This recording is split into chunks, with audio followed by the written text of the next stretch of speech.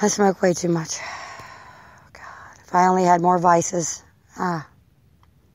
See, in my quiet moments when I am lost in this abyss of forgotten dreams, too many questions run through my mind. It is like a web, sticky and strong, keeping me here, forgotten fears and yesterday's tears. When I say you can go back and replay a moment in your head, but what was said you can never take back. Fistful of rage and a moment's tender kiss, they scramble up in my mind. The he said, she said, all the fucking alibis while they keep turning the tide. Who you are and who you become is all based on ideals prefabricated in our formula of life. This nonsense I speak like whispers in the wind is truly true. Listen to me, and the tale I spill will leave you breathless.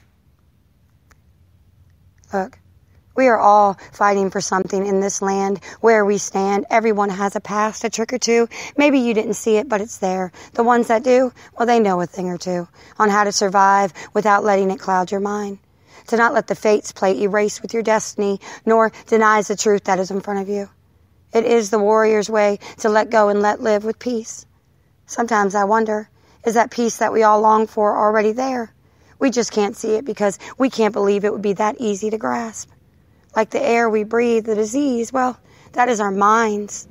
We can't comprehend because we are never happy with what we have. We want more. Then when we finally have more, it's too much. Too much shit, too much this, too much that. We blame others instead of putting the blame where it belongs on ourselves.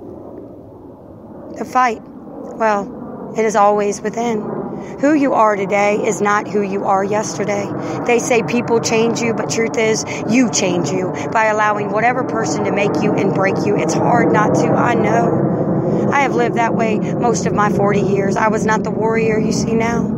I was an invention of what I was told to do by the pressures of wasted years. I played the pity act, but the only one to blame in that whole thing was me because I allowed it. I took it all in, every word, every thought, every line. I let that shit eat at me until I wanted to die.